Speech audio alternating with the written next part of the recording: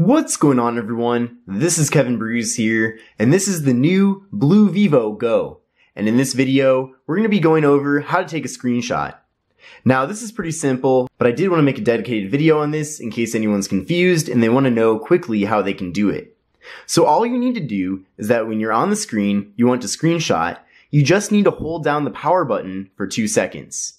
So once you hold that down, you'll see a new option here on the right side and it will say power off, restart, or screenshot. And then from here, you're going to tap on screenshot and then it's instantly going to take that screenshot. Then from there, it'll say saving screenshot and then you have options to share, edit, or delete. So if you don't like the screenshot or if you want to take a new one and you don't want to keep it, you can just tap on delete of course, you can instantly share it with friends, but let's take a closer look at that edit function. Now, if the little alert goes away, all you need to do is pull down the shade here and you'll see there's the screenshot right there. So we're going to tap on edit and this now pulls up the photo editor.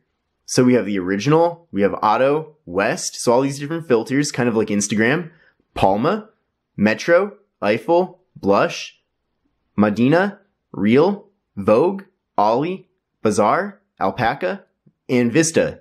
So I'm going to leave it on blush right now. And then from here, we also have other options. So we can tap on this button in the middle and we can change the lighting of the filter.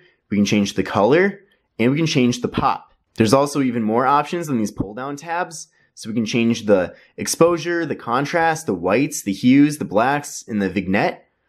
And then we also have color options as well for the saturation, warmth, tint, skin tone, and deep blue. Then if you want to crop your screenshot, you can tap on the crop button. You can also rotate and they have all kinds of very specific degrees here that you can rotate it to. Or you can click on this button to rotate it 90 degrees on each tap. So that's pretty cool. We also have another button here that will crop it to original, square, 16 by 9, 4 by 3, or 3 by 2. So once you've picked what you wanted to do there, you can tap on done.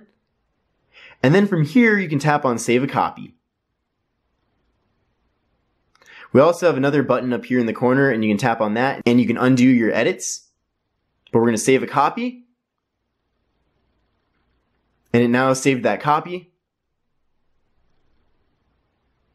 And then it takes you back to the home screen here. So I hope you enjoyed this video on how you can screenshot with the BLU Vivo Go if you, have, if you have any questions or requests for specific videos that you want me to do about this device, let me know down in the comment section below. Make sure to give this video a thumbs up.